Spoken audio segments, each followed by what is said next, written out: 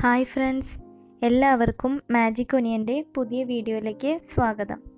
ഇന്ന് നമ്മൾ ഉണ്ടാക്കാൻ പോകുന്നത് ഒരു ഹെൽത്തി ആയിട്ടുള്ള ഫുഡാണ്. കർക്കിടക മാസത്തിലെ ഉലുവാക്കഞ്ഞിയാണ് ഉണ്ടാക്കുന്നത്. അപ്പോൾ അത് നമ്മുടെ സാധാരണ മട്ടരി വെച്ചിട്ട് എങ്ങനെ ഉണ്ടാക്കുന്നതെന്നാണ് ഇന്ന് കാണിക്കുന്നത്. സാധാരണ നമ്മൾ അതിനെടുക്കുന്നത് ഉണക്കലരിയാണ്.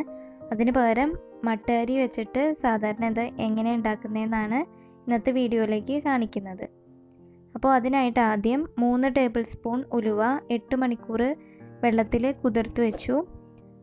അടുത്തതായിട്ട് നമ്മുടെ മട്ടരിയാണ് എടുത്തേക്കുന്നത്. ഇത് നന്നായിട്ട് കഴുകിയെടുത്തു. ഒരു നാഴി മട്ടരിയാണ് ഇതിനു വേണ്ടി എടുത്തേക്കുന്നത്.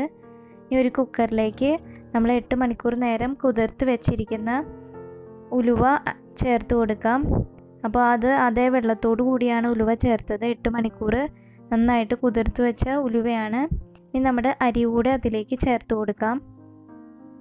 ഇനി അതിലേക്ക് ചേർക്കുന്നത് ഉള്ളിയും വെളുത്തുള്ളിയും ആണ്. അപ്പോൾ ഉള്ളി നമ്മൾ ഒരു അഞ്ച് ഉള്ളി ചെറുള്ളിയാണ് എടുത്തേക്കുന്നത്.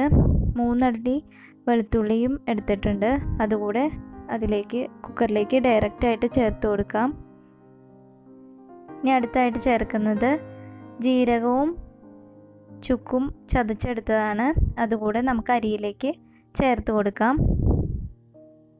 ഇനി ആവശ്യത്തിനുള്ള ഉപ്പ് കൂടെ ചേർക്കാം. അര ടീസ്പൂൺ ഉപ്പാണ് ഇതിന് എടുത്തേക്കുന്നത്. അപ്പോൾ ഉപ്പ് കൂടെ നമ്മുടെ കുക്കറിലേക്ക് ചേർത്ത് കൊടുക്കാം. ഇനി അത് വേകുന്നതിന് ഞാനിവിടെ എടുത്തേക്കുന്നത് തേങ്ങാപ്പാലാണ്. ഒന്നര കപ്പ് തേങ്ങാപ്പാലാണ് ചേർക്കുന്നത്. അപ്പോൾ തേങ്ങാപ്പാലിന് പകരം തേങ്ങ ചിരകിയത് വേണമെങ്കിൽ ഇതിലേക്ക് ചേർക്കാവുന്നതാണ്. അപ്പോൾ നമ്മൾ ഇതിന് എടുത്തേക്കുന്നത് ഒന്നര കപ്പ് രണ്ടാം പാലാണ് എടുത്തേക്കുന്നത്. അപ്പോൾ ഒന്നാം പാൽ നമ്മൾ മാറ്റി വെച്ചിട്ടുണ്ട്. തേങ്ങയുടെ രണ്ടാം പാലാണ് എടുത്തേക്കുന്നത്. അപ്പോൾ നമ്മൾ എടുത്തേക്കുന്ന അരിക്ക് അനുസരിച്ചുള്ള പാലാണ് ഇതിലേക്ക് ചേർക്കുന്നത്. പരി അരി കൂടുതൽ എടുക്കുകയാണെങ്കിൽ അതനുസരിച്ച് തേങ്ങാപ്പാലിന്റെ അളവും കൂടെ കൂട്ടണം.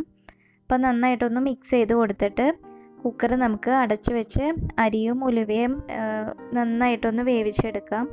അപ്പോൾ ഇതിനായിട്ട് നമ്മൾ മട്ടരി എടുത്തേക്കുന്ന കാരണം വേവ് കൂടുതലായിരിക്കും. ഒരു എട്ട് മുതൽ ഒമ്പത് വരെ വിസിൽ വരുന്നത് വരെ നന്നായിട്ട് നമുക്കിത് വേവിച്ചെടുക്കണം. നമ്മളൊരു കഞ്ഞിയുടെ പരുവത്തിനാണ് എടുക്കുന്നത്. അപ്പോൾ റൈസ് നന്നായിട്ട് വേവണം. നമുക്ക് ഇതിന് പകരം ഉണക്കലരി യൂസ് ചെയ്യാം. അപ്പോൾ ഉണക്കലരിയാണ് നിങ്ങൾ എടുക്കുന്നെങ്കിൽ ഒരു നാലഞ്ച് വിസിൽ മതിയാവും. ഇപ്പോൾ ഒരു ഒമ്പത് വിസിലോളം ഞാനിവിടെ എടുത്തു. അപ്പോൾ നമ്മുടെ അരി നന്നായിട്ട് വെന്ത് വന്നിട്ടുണ്ട്. ഞാൻ നന്നായിട്ടൊന്ന് ഇളക്കിയതിന് ശേഷം നമ്മുടെ ഒന്നാം പാലും കൂടി ചേർത്ത് കൊടുക്കാം. അപ്പോൾ ഒന്നാം പാൽ ചേർത്ത് കഴിഞ്ഞാൽ ഒത്തിരി തിളയ്ക്കാൻ വേണ്ടി നമ്മൾ വെയിറ്റ് ചെയ്യേണ്ട. ഒന്നാം പാൽ ചേർത്തിട്ട് നന്നായിട്ടൊന്ന് ചൂടായി വന്നാൽ മതി. അത് കഴിയുമ്പോൾ നമുക്ക് സ്റ്റൗ ഓഫ് ചെയ്യാവുന്നതാണ്. അപ്പോൾ നമ്മുടെ അരി അരിയും ഉലുവയും നന്നായിട്ട് വെന്ത് വന്നിട്ടുണ്ട്. ആ ഉള്ളിയും വെളുത്തുള്ളിയും നമ്മൾ ചതച്ച് വെച്ചേക്കുന്ന ജീരകവും ചുക്കൊക്കെ നന്നായിട്ട് ഇതിലേക്ക് ചേർന്നിട്ടുണ്ട്. ഇത് ഹെൽത്തി ആയിട്ടുള്ള ഒരു ഐറ്റമാണ് അപ്പോൾ നമ്മൾ ഒന്നാം പാലും കൂടി ഇതിലേക്ക് ചേർത്തു.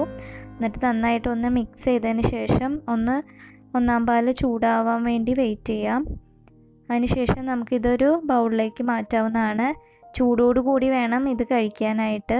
അപ്പോൾ നമ്മളിതിൽ ശർക്കരയൊക്കെ നമുക്ക് ഓപ്ഷനാണ് അപ്പോൾ അതൊന്നും ചേർക്കാണ്ട് തന്നെ ഇത് കഴിക്കാവുന്നതാണ്.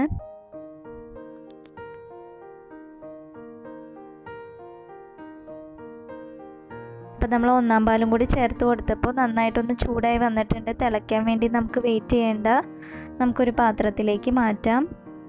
അങ്ങനെ നമ്മുടെ കർക്കിടകത്തിലെ ഏറ്റവും നല്ല ഹെൽത്തി ആയിട്ടുള്ള ഉലുവാക്കഞ്ഞി റെഡി ആയിട്ടുണ്ട്. അപ്പോൾ എല്ലാവരും ഇതൊന്ന് ട്രൈ ചെയ്ത് നോക്കണം. നല്ല ഹെൽത്തി ആയിട്ടുള്ള ഐറ്റമാണ് അപ്പോൾ നമുക്ക് ഉണക്കലരി ഇല്ലെങ്കിൽ തന്നെ നമ്മുടെ മട്ട അരി വെച്ചിട്ട് തന്നെ നമുക്ക് ഉണ്ടാക്കാവുന്ന ഒരു വിഭവമാണ്. അപ്പോൾ എല്ലാവരും ട്രൈ ചെയ്ത് നോക്കുമെന്ന് വിശ്വസിക്കുന്നു. ചാനൽ ഇതുവരെ സബ്സ്ക്രൈബ് ചെയ്യാത്തവരെല്ലാവരും ഇത് സബ്സ്ക്രൈബ് ചെയ്യുക. തൊട്ടടുത്ത് കാണുന്ന ആ ബെല്ലൈക്കൺ കൂടെ ഒന്ന് പ്രസ് ചെയ്യുക.